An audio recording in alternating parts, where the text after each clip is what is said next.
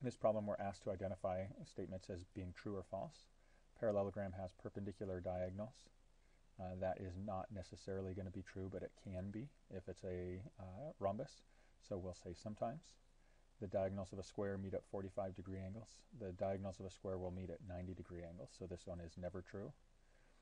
A triangle is a quadrilateral is never going to be true. It's always going to be a three-sided figure Parallelogram has four right angles. It's possible that it can, but it doesn't have to. If it's a rectangle, it will.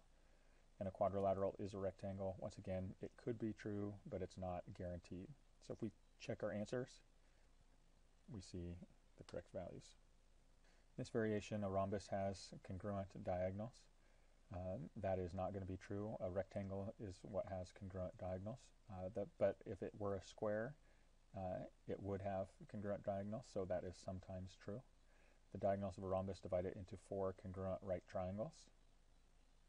That is going to be true always of a rhombus. A rectangle has two acute angles. That's never true.